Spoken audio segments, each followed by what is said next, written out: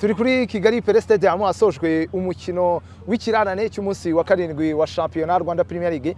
Birangiye ikipe ya rayon sport itsinze tenseri igitego kimwe ku busa cya faringanye binicaza igikundiro ku mwanya wa mbere eh, n'amanota makumyabiri. Ni byiringiro ze muri kumwe kuri iyi nshuro kumwe na mugenzi wanjye eric toni. Toni umeze neza? Meze neza cyane hoze Mm, hanyuma wowe n'ubundi ariko imbeho y'inyamirambo urayimenyereye birumvikana. ariko nta nubwo ari na nyinshi aka ngaka akaba ari sawa cyane. Eh, aka ngaka kabisa. Eh, ni sawa cyane. Hanyuma tudatinze Rayon Sport yicaye ku mwanya wa mbere. Uyu mukino w'ikirarane iri kwica imigani imbere morale ni nyinshi. Yavuye mu bakinnyi barambwira ati uwo bita myugariro Aimable. Eh, arambwira ati abasaza prime yo tuzayibamaraho rwose. Ngo nta gahunda yo gutakaza bafite biragaragara morale ntabwo ari ikintu tukigarukaho. Ahubwo ni umukino wabonye ute urangiye mu maka nyinshi zatewe n'igitego cya intenseri cyo kwishyura cyanzwe. Ku kijyanye na purime byo birumvikana nk'ikipe navuga ngo idaheruka guhemba ha- hari abo udaheruka kuganira barambwira- ngo nta nubwo twibuka amafaranga twahembwe ngo nayaryari kubera ko urumva ku- kuva mu kwa karindwi kugera ryari hari abahembwe bwa mbere urabizi ko ubwo eh, bahembaga harimo nasiyonari ntabwo bose bahembwe hahembwe abo babonaga bashobora gukina nka ba keve bari mu ikipe y'igihugu ntabwo bigeze bahembwa. Usanga nyine kuba iki kintu cy'umushahara kidahari abakinnyi bagomba gukorera prime kugira ngo byibuze motivasiyo igaruke ndetse n'ubwo buzima bwabo hanze y'ikibuga bukomeze. Eh, ku bijyanye n'umukino igitego kimwe cya faringanyi ku muri asisiti nziza ya adama bagayogo wari winjiye umaze kwinjira mu kibuga asimbuye. Umupira mwiza yashoboraga kugwa ariko agira resistance awusubiza mu rugo rw'amenagani imbere y'izamu. Faringanyi nawe nk'uko amaze kubigaragaza ko ari umubiteri mwiza ari umukinnyi uzi gutsinda ahita wishyira mu ncundura ni cyo gikoze ikinyuranyo. Gusa etenseri nk'uko wari ubigarutseho yashobora kwishyura ku minota mirongo inani na gatatu ku gitego cya Ismail Amoro nyuma yo gusiga Nsabimana Aimable bari kumwe. Ariko umusifuzi wo ku ruhande Nsabimana Thierry aza kuvuga ko ah, habayeho kurarira. Ah, Nsabimana Evariste avuga ko habayeho kurarira. Gusa ugiye kureba Ah, ku mashusho njye nagize amahirwe nari negeranye n'abogezaga umupira kuri RBA ah, byashobora kuba igitego cyangwa se ni igitego reka mbivuge gutyo nkurikije ibyo nabonye. Ah, ugiye guca imirongo ni bwo wenda usho- ushobora kuvuga ati urabona hano harimo ivi cyangwa harimo iki? Ariko nabwo byagaragara ko oh, ku ruhande rwinshi ku ruhare ru- runini byagaragara ko umukinnyi yari onside. Bityo byashobora kuba igitego. Nabyo wabonye ko abakinnyi abatoza ba etenseri bagiye kwerekana bashyushye. basifuzi ba- barababwira ati muratwibye kandi ntimwatubaniye. Hari n'indi akisiyo yabaye nyuma mu minota ya nyuma kuri corner ikipe ya tenseri yashoboraga kubona umusifuzi wo ku ruhande agaragaza ko umupira warenze nta mukinnyi wa Rayon Sport uwukozeho. Nabyo ni indi akisiyo wabonye ko yakoze mu mutwe w'abakinnyi ba etenseri wabonaga uyu munsi bari bagerageje kujya mu mukino nubwo Rayon Sport imbere y'abafana bayo ku itara nk'uko ibimenyereye yagerageje kuhasatira ariko etenseri na yo ukabona ko yagerageje gukina.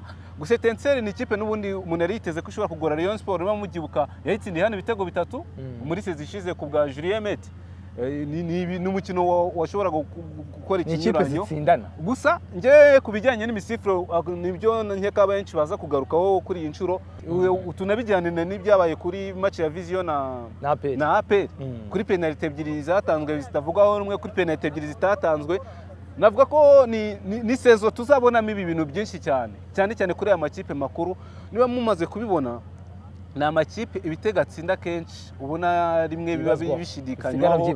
Harimo uruhare rw'abasifuzi. Sinzi niba bavuga ngo ni abasifuzi ngo bibeshye cyangwa iki ariko amakipe menshi azi gutegura azi gutegura amakipe ya hano mu Rwanda. Cyane cyane ya APR ya Rayon Sport ni amakipe azi icyo ishaka. Noneho bigahurirana no kuvuga ngo umusifuzi arajya ku gitutu cyo kuvuga ngo yanze iki gitego arajya ku gi- ku gitutu cyo kuvuga ngo yibye ekipe. Mm. cyangwa se nanone hakazamo ka kaboko ko kuyifasha. Ndaza kuguha urugero nka cya gitego twabonye ikipe ya Musanze batayihaye kuri match ya AS Kigali niba nibuka neza bamaga- bahagarika umusifuzi wacyanze mu mi- mu minsi ya mbere ya shampiyona. Biragoye ko kiriya gitego wacyangira APR biragoye ko kiriya gitego wacyangira ikipe ya Rayon Sport ni amakipe y'igitutu. Usanga ko ah, biraza gusaba ko komisiyo y'abasifuzi na yo iza kuba severe mu guhana abasifuzi bakoze amakosa Mm. ikaba severe mu kugena. Abasifuzi bah- bahabwa imikino ni ukuvuga ngo aho kugira ngo umukino w'ikipe APR akomeye, yego igiye kugena na viziyo ni amakipe wavuga ngo yari ku rwego ku mwanya wa cumi na kane n'uwa cumi na gatanu. Ari mu myanya ya nyuma ariko ni APR ifite igikombe cya shampiyona giheruka. Kuki umukino uwuha Eric usanzwe ufite abandi basifuzi mpuzamahanga bahari.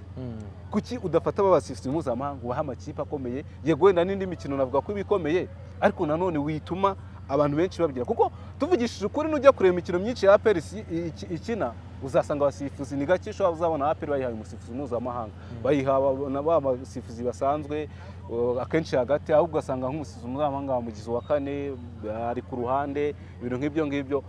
Ni ni ikintu gishobora kugira navuga ngo kiza ku byibuze cyagereza kugarura isura ya shampiyona naho ubundi imaje ntabwo ko itangiye kwangirika kuko uyu munsi umuntu arakubwira ati ati nushaka usubira inyuma kuri match ya Bugesera ati igitego muhire Kevin yatsinze yaroruje ati genda urebe gutya. Ni ibintu bishobora kuza kugaruka cyane mbona ishyirahamwe eh, ry'umupira w'amaguru mu Rwanda Rwanda Premier League komisiyo y'abasifuzi bashobora guha umurongo biragoye ko wavuga ngo wabuze ikipe gutegura mu gihe yabishoboye. Ntabwo nzi ngo binyura mu kuganira ntabwo nzi ngo bica ku buswa bw'umusifuzi. Nabonye n'abasifuzi bo mu rwanda bagira indwara yo kuvuga ngo ni ukubaransa. Ugasanga wenda aho yakoze ikosa hano niba yimanye penaliti mukanyeraza Ahandi kwitanga ku ikosa ritari ryo Eh. kugira ngo yigarurire.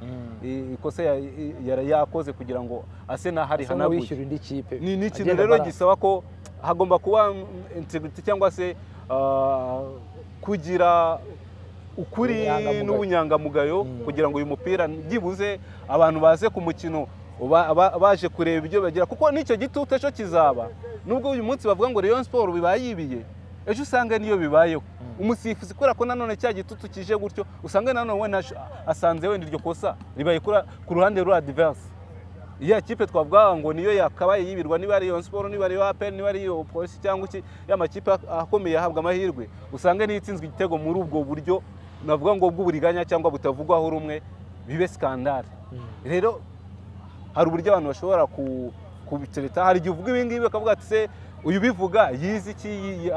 Imisifurire yayize gute? Ariko umupira kenisi navuze ngo ubera ku karubanda burya abantu baricara bakanariza ni na cyo cyiza cy'umupira uwuzi utawuzi aba yawurebye agatangaho igitekerezo. Kandi akenshi hari igihe usanga n'uwo witwa inararibonye ari we uri mu makosa cyangwa yibeshye. Ngayo nguko yari komenti ntoya eh, twatangaga kuri uyu mukino ariko tubabwire ko ku munsi w'ejo ku cyumweru nabwo hari ibindi hari indi mikino y'ibirarane aperi izakira rutsiro hano mu gihe ariko ku isaha saa kumi n'ebyiri hari umukino ukomeye hagati y'ikipe ya polisi ndetse na ayisigali iyi ngiyi ni igihe sipoti gumana natwe hayirayiti y'umukino iri na yo kuri iyi cano kandi ubwo ni ibyavuye mu mukino abakinnyi n'ibindi byose bigiye bitandukanye ni hano bisanga nk'ibisanzwe mukomeze kugira ibihe byiza cyane